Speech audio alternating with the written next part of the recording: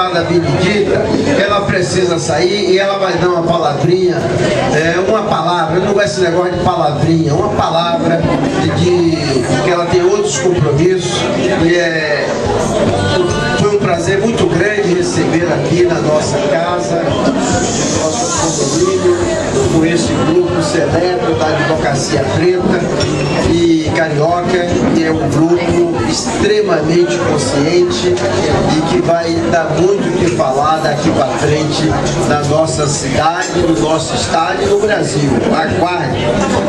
Bené, a palavra é sua.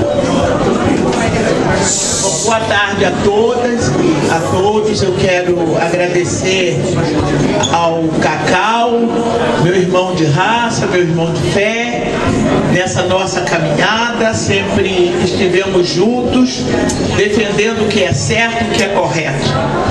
Estou também muito feliz em poder estar aqui com vocês, Advocacia Preta Carioca, e essa é uma boa ideia, uma ideia da qual todos nós deveremos apoiar.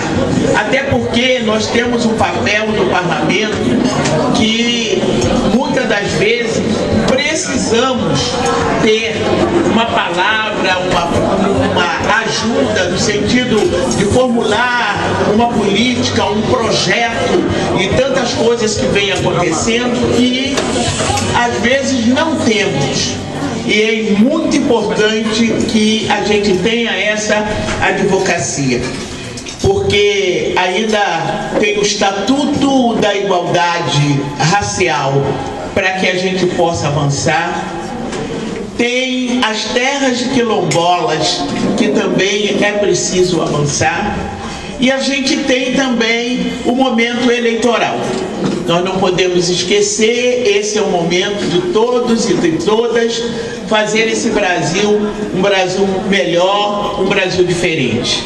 E a gente espera né, que nessas eleições nós tenhamos o Cacau na Assembleia Legislativa e certamente ele fará parte de um número, pela primeira vez nós temos no Brasil um número maior de negros e negras candidatos, seja no governo do Estado, seja na Assembleia Legislativa seja para o Congresso Nacional.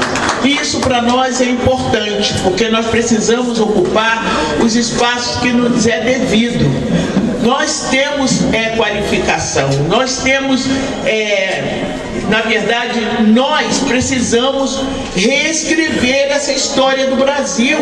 E ninguém vai fazer absolutamente nada se não tiver realmente uma advocacia, não é preta, para poder a gente dar uma contribuição maior e evitar que os governos errem tanto, porque nós somos maioria da população brasileira, não podemos ficar na invisibilidade. Nós temos, nós demos, continuamos dando né, uma contribuição enorme para o desenvolvimento. Nós, no entanto, é preciso que o nosso conhecimento, que é um conhecimento geral e muitas das vezes um conhecimento maior pelo fato de sermos nós que pesquisamos, né, de onde viemos, né, e o que fizeram conosco e para onde iremos, isso é muito importante nesse momento ter vocês aqui. Então eu quero cumprimentá-los, dizer, ó, parabéns, é uma guerreira, onde ela bota a mão acontece, né? A gente tem feliz de tê-la, né? E eu espero, né? Eu não sou advogada, mas eu quero conversar lá com a advogada lá de casa, para dizer, olha, agora você está sabendo que tem é advocacia preta carioca. E aí vou ver, vou ver não, vou ali democraticamente falar para Ana Benedita, ó, vai para lá. Ali que é o seu lugar. Gente, muito obrigado. Obrigadamente, Cacau. Cacau, você sabe de coração. Desejo realmente muita sorte para você e que eu quero vê-lo na Assembleia Legislativa. Faz uma força aí, né? Mais? Mais? É. É. Olha, gente, eu falo uma pretaiada aí pra botar É isso aí. os brancos também, Também. que botar na gente. Gente, saindo porque tem compromisso. Mas, Bené, eu quero dizer para você que acompanha a sua luta e nesse grupo aqui tem duas pessoas, uma a cor da pele não é preta, mas o seu coração, os seus compromissos realmente, sem dúvida alguma, são compromissos com a nossa causa. E eu quero chamar aqui, antes da Benê sair, é você vai embora, você vai embora. Mas você pode ir, você já pode ir, você já deu sua fala, já, já. Que você já pode ir. Mas para aproveitar esse embalo, eu quero chamar o Miro. Miro, por favor. É. Bené, Deus abençoe. Um beijo pro Miro. Um beijo, um beijo, Bené.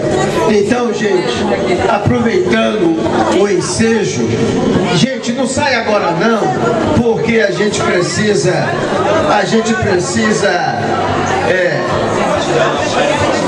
é, por favor, gente, quem puder sentar seria bom, porque a gente vai começar umas falas.